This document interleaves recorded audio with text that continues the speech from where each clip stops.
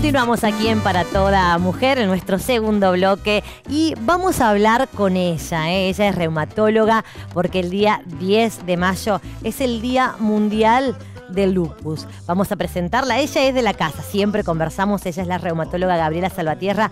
Doc, ¿qué tal? ¿Cómo estás? Un placer tenerte en el programa vía Zoom ahora hola Su, ¿cómo estás? Un placer como siempre. Bueno, aquí haciendo lo que se puede, vía Zoom, como vos dices, ayudando de todas formas. ¿Qué es esto del lupus? ¿Cómo podemos definir esta enfermedad? Bien, hablamos de lupus, que es un que afecta principalmente a mujeres en, en, un rango de edad entre los 20 y 40 años. También puede afectar a hombres, puede afectar a niños, pero en general es más prevalente, es más frecuente en las mujeres. Eh, el lupus, como te dije, es una enfermedad crónica, autoinmune, eh, que tiene diversos factores eh, de riesgo, por así decir, que pueden, que pueden ir presentándose durante el transcurso de la enfermedad. no se sabe la causa del lupus, se cree que eh, ciertos, ciertas, ciertos virus, bacterias, infecciones, alguno que otro medicamento tóxicos pueden ser desencadenantes del lupus eritematoso sistémico. También cabe aclarar que existen dos tipos de lupus, el lupus cutáneo puro, que es aquel que afecta eh, todo lo que es la piel, y el lupus eritematoso sistémico, en donde ya tenemos afección de órganos como por ejemplo pulmón, riñón, ojos, toda la parte de este, hematológica, etcétera. Bien, ¿el puede aparecer en cualquier etapa de nuestra vida, cualquier edad? Puede aparecer a cualquier edad. La mayor incidencia se presenta entre los 20 y los 40 años. Eh, ¿De qué forma se, se puede manifestar un lupus o qué es lo que nos tiene que alarmar? En general estamos con eh, eh, ciertos dolores articulares o poliartralgias, rash cutáneo o en alas de mariposa, que es el enrojecimiento, úlceras orales a nivel eh, bucal, también puede presentarse por medio del reino, que es el cambio de coloración de la punta de los dedos con el frío, que pasa por estadios de violetas o pálidos y la caída de cabello, que es muy característico en estas pacientes, que en general vienen y dicen, me cae el cabello, tengo mechones en mis manos. Esa es la forma típica de presentación de un lupus, más acompañado de todo el estado general, como es astenia, dinamia, decaimiento general. Pero también está la otra forma de presentación, que es ya cuando tiene compromiso, por ejemplo, renal, es decir, el diagnóstico se llega a través de la pesquisa por medio del riñón. O bien puede tener un debut con una policerositis. ¿Qué es esto? Derrame cardíaco o derrame pleural, es decir, líquido a nivel del corazón o a nivel de los pulmones en este tipo de pacientes que debutan con este tipo de sintomatología, uno tiene que pensar en un diagnóstico diferencial con el lupus eritematoso sistémico. Bien. Eh, ¿Cómo sabemos que es lupus y que no es otra enfermedad? ¿Cuál es, ¿Hay algún estudio específico para detectarlo? Claro, nosotros eh, cuando nos llega este tipo de pacientes, después de una muy buena anamnesis, de una buena historia clínica, ¿sí? uno va a ir orientándose al diagnóstico, entonces va a pedir un laboratorio específico, va a pedir si es necesario una tomografía de pulmón, una ecografía renal, pero el laboratorio con ciertos parámetros que nosotros vamos a ir viendo, ciertos anticuerpos, es lo que nos va a llevar a confirmar o descartar un diagnóstico de lupus. Una vez diagnosticado el lupus, ¿cuáles son los pasos a seguir? ¿El tratamiento o qué más tenemos que hacer, Doc? Bueno, una vez que uno hace el diagnóstico de lupus, primero principal uno tiene que estar seguro que es un lupus. No es fácil dar un diagnóstico de lupus con todo lo que eso implica. Entonces, eh, ¿existe tratamiento? Sí, existe tratamiento. Hay que hablar muy bien con, el, con la paciente o el paciente porque soy una convencida que el paciente que sabe lo que tiene y entiende de su enfermedad tiene muy buena adherencia al tratamiento. Entonces, ¿qué pasa? Eh, contamos con una serie de medicamentos antimaláricos, inmunosupresores como es la satioprina, la hidroxicloroquina, que es un antimalárico que hoy en día tanto se está hablando con el, el tema este del coronavirus en estudios experimentales, lo que ha producido una falta de este medicamento en nuestras pacientes con lupus eh, azatioprina, micofenolato, etcétera. Tenemos medicamentos y también esteroides, por supuesto, y analgésicos para tratar si tiene poliartralgias o dolores articulares. Bien, bueno, esto es bueno saber, ¿no? Que la paciente, primero, que tiene que ser consciente de lo que está padeciendo, de esta enfermedad, y esto se cura, o como dices vos, es una enfermedad crónica y vamos a, convivir con ella siempre. En realidad es una enfermedad que no tiene cura.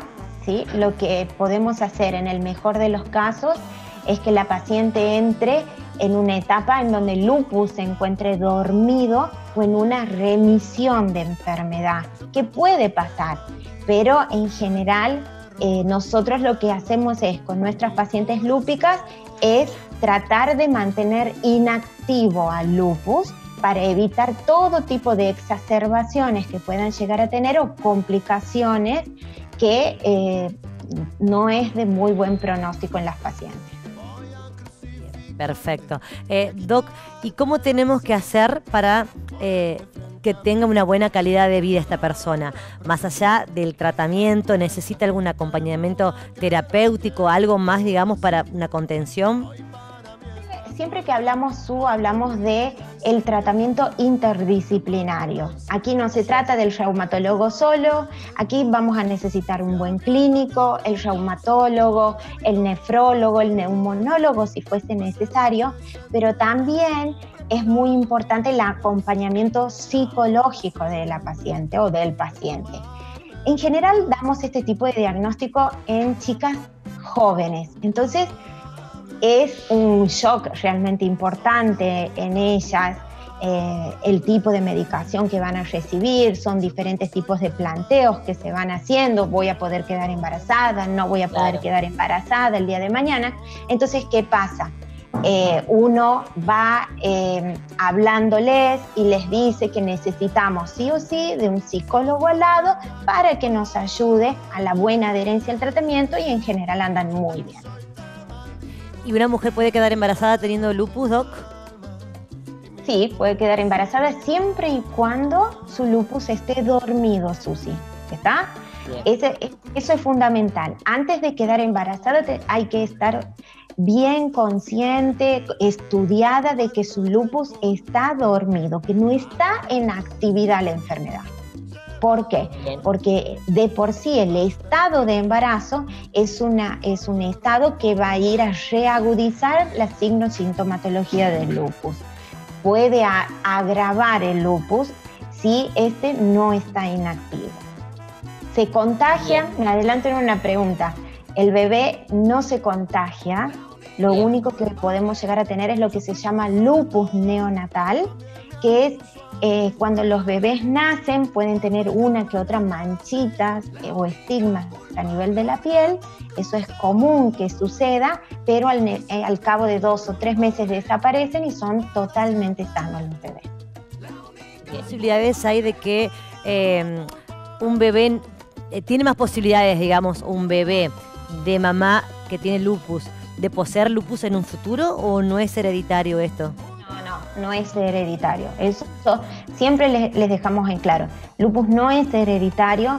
Si yo tengo una mamá lúpica, no, es no, no precisamente va a tener un hijo el día de mañana, su hija o hijo va a ser portador de lupus. Eso es algo que no, no está descrito, no, no, no va. ¿sí? Pero que pueda llegar a desencadenar cuando sea grande y bueno, uno tiene que ver todo el factor inmunológico, el factor psicológico. Vos has visto que todas las enfermedades autoinmunes tienen una, realmente una carga, una carga emocional muy importante. Muchas de estas enfermedades Yo he visto varios casos de lupus que han sido desencadenados después de un estrés eh, psicológico muy, muy importante, entonces hacen este tipo de manifestaciones. Doc, ¿y cómo hacemos para las personas lúpicas, no? Eh, de repente, tienen esta enfermedad, o aprovechando hablando, que estamos hablando con vos, cualquier enfermedad crónica, en esta pandemia, ¿cómo tenemos que, cómo deberíamos cuidarnos? Toda paciente con una enfermedad autoinmune, yo hablando desde el punto de vista reumatológico, llámese artritis, lupus, esclerodermia, enfermedad mixta del tejido conectivo, eh, Sjogren, cualquiera, eh, lo principal es que tiene que estar vacunada porque es una persona inmunodeprimida por la medicación que toma, principalmente la vacuna antigripal y la vacuna antineumocóxica.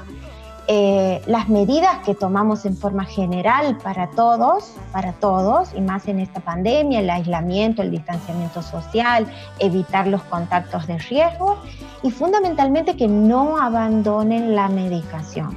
¿Por qué?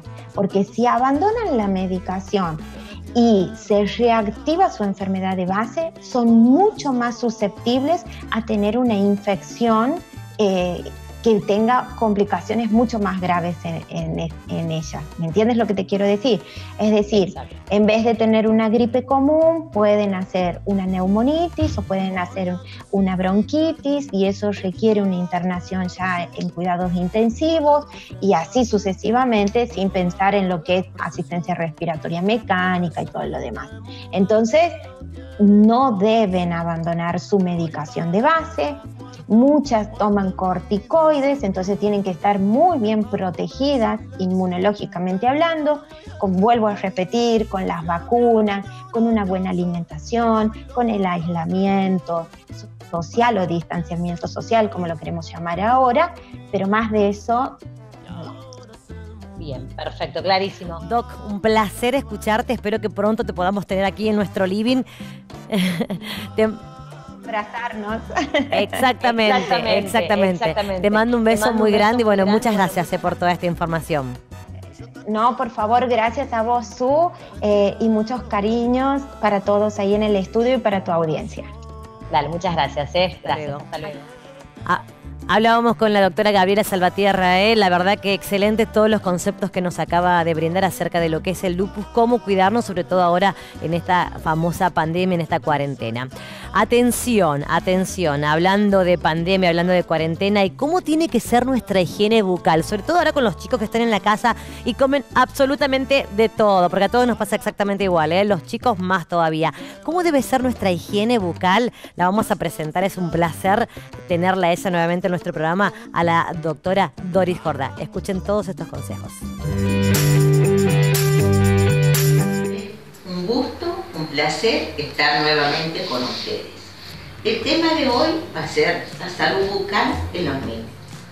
Bueno, una pregunta que se hacen todos los padres es ¿a qué edad llevo el niño al odontólogo?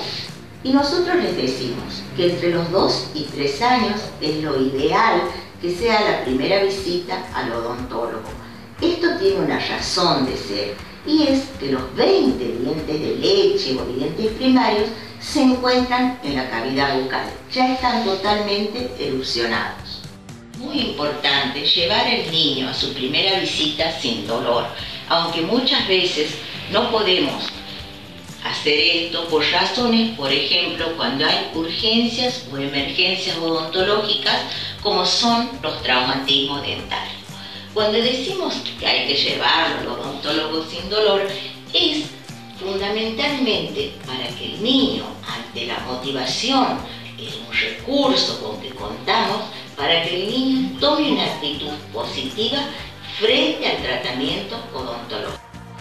Bueno, vamos a hablar un poco de prevención y cuando decimos prevención vamos a referirnos a la higiene bucal del niño. Entonces, en la primera visita que hará el profesional, abrirá la boca de su pequeño paciente y va a tener, va a juzgar el aseo del niño. Muchas veces correcto el aseo con que trae el niño y otras veces debemos dar al padre las explicaciones necesarias de la correcta higiene bucal. No hay una técnica que sea la ideal. es muy buena, una técnica que se llama circular o técnica de VAS, sobre todo en los niños entre 7 años y menores de 7 años. Vamos a repetir última vez el repaso del cepillado. Tomamos el cepillo en forma firme, agarramos dos o tres dientes, ángulo de 45 grados la cerda y con movimientos suaves cepillamos de atrás hacia adelante durante 10 segundos.